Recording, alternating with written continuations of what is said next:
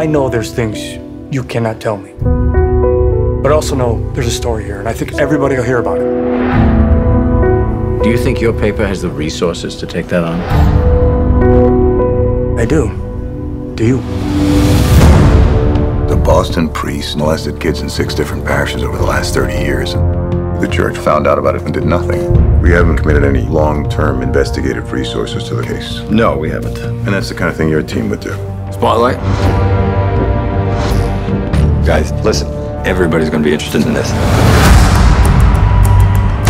Obviously, the church will fight us very hard. I'm trying to get some background information. I don't want you recording this in any way, shape, or form. Nothing.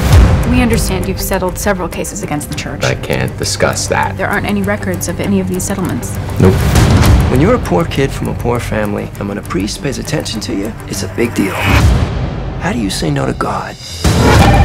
Spotlight. Just the tip line. You think he's got something? I want to keep digging. We need to focus on the institution. Show me that it came from the top down. They'll try to silence anyone who speaks out. You leave me alone, you hear me, goddammit? 6% act out sexually. 6% is 90. 90 priests. If there were 90 of these bastards, people would know. Maybe they do. You're going to give me the names and the names of their victims. Are you threatening me? I was doing my job. Yeah, you and everyone else.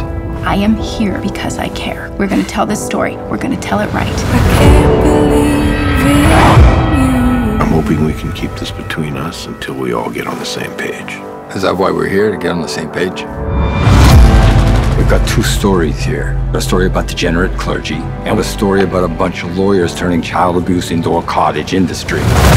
Which story do you want us to write? Because we're writing one of them.